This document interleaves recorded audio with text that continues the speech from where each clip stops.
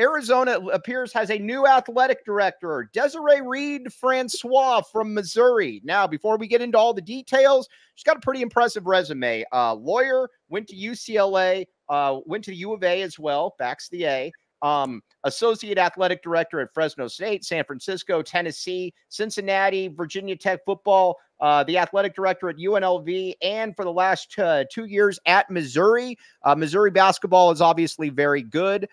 Missouri football is obviously very good. Missouri basketball went further in the tournament. Scheer, just off the top of my head, this looks like a very, very good hire.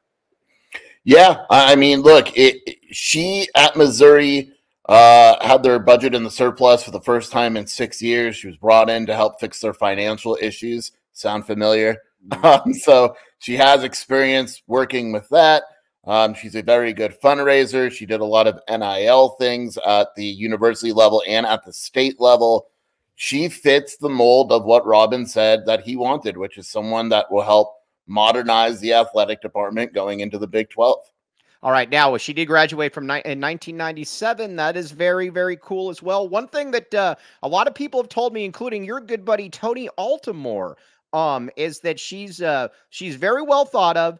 Um, she's kind of a job uh, a job hopper. Um, but listen, I mean, I'm this kind of goes back to the Jedd Fisch thing. As bummed as we are about Jedd Fisch, you still hire Jedd Fisch again because of where we're at right now with Arizona football. It's kind of the same thing with her. If she's able to get Arizona financially in a little bit better spot, then I think that you're it's you're in a really good you're in a really good situation if she leaves in three or four years. That still doesn't take away from the fact that I think Dave Heeke absolutely got screwed in all this. I still need to be able to put that out there. But sure, what say you? Uh, first of all, Dennis Walsh, fantastic comment someone asked her if she was uh in the riot in 1997 when she was here. It would be great, right? First question tomorrow. Um, look, like there's a there's a thing like we're all mad at how Jedd Fisch left, but at the end of the day, like you said, it's about you know we always said we we expected to be an extra year, but we always said, look, like if a coach leaves on their own will, it means that they've they've done well, right? If she comes in and she fixes the financial situation and help stabilize the athletic department and then winds up leaving in five years, so be it. Right. Like it's just, it's that's just how it's it's going to be. And who knows what college sports is going to look like in five years? Who knows who the president of the school is going to be in five years? Right.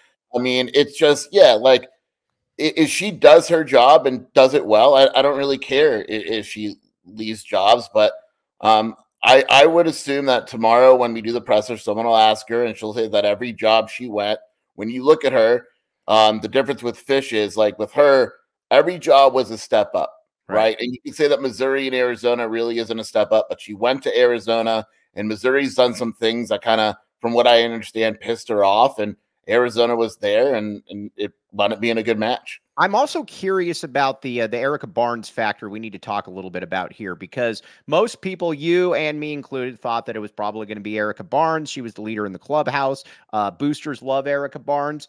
Um, it's going to be fascinating to see how this one plays out because a lot of people were under the impression that Erika Barnes was going to be the uh, the next athletic director at the U of A. I think one of the first things that uh, Reed needs to do is meet with Erika Barnes and figure out a way to make her happy and keep her on staff because I mean, I don't know the day in and day out stuff that Erika does, to be honest, uh, but I know that the boosters love her. She mm. is absolutely a bridge to the boosters, and that is going to be a very important part of uh, Reed Francois' job. And so, uh, in some capacity, if she could find a way to keep Erika Barnes, I, I think that would be a, a very important move uh, one of her first moves, in fact. John Hip, John Hippensteel, the great John Hippensteel, um, says, I don't really see that UNLV or uh, Missouri programs are really that great. What has she done other than get the budget surplus? You got to remember, my man, at Missouri, that's not an easy play. That's not a place with a ton of tradition when it comes to football. And they finished, what, 10th in the country this past year? Yeah, I mean, very clearly their football program is on the way up, right? right. Like they're doing things football wise that they haven't done in a long time. I always look at the reaction on message boards and Twitter and all that. And I know that's probably not the right place to look for this stuff, but like it's when the exact right place to look. Come on. Well, when you look, well, like when when you lose the coach, right? You you look, and if people are like, "Thank God," you're like, "Okay, there's something wrong here." Missouri fans are legitimately upset that she's leaving. That mm-hmm. tells me a lot, right? Like it, from a fan perspective, they liked her and what she did um, with the university.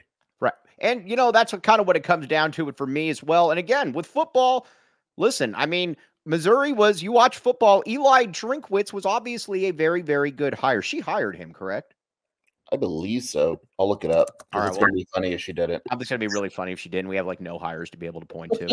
um, but uh, but either way though, like uh, financially, and we're gonna get into the financial aspect. She she did not hire him, but she was able to get the extension done.